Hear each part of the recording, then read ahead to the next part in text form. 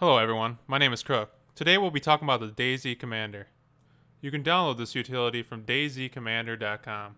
First install the program and then open the program using the desktop icon. This tool is used to keep your Arma 2 and DayZ mod up to date.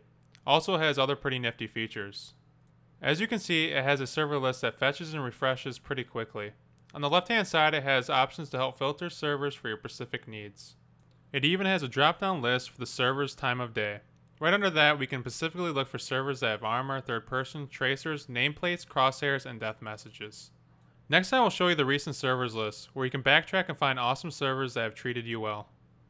And on to the favorites, where you can add those servers that have treated you well to a more specific list. Not to mention, let's throw in a friends list, where you can join and play with your friends without the hassle of searching through the lengthy server list. Let's go take a look at the versions tab. This tab shows you versions of your DayZ, Commander, Arma 2, and DayZ mod. It also lets you know if they are up to date and allows you to download the most recent versions. This tab also shows some pretty cool statistics on what version of DayZ and Arma 2 servers are currently running. Lastly, we will take you to the settings tab. This is where you can set game launch options, which include running the game in windowed mode, setting up multi-GPU support, and even closing the DayZ Commander after launching the game. Have you ever wanted to show people you are playing DayZ on Steam? Well, now you have the option to do that using DayZ Commander. This tab also has options to override game directories and some simple options available for the commander.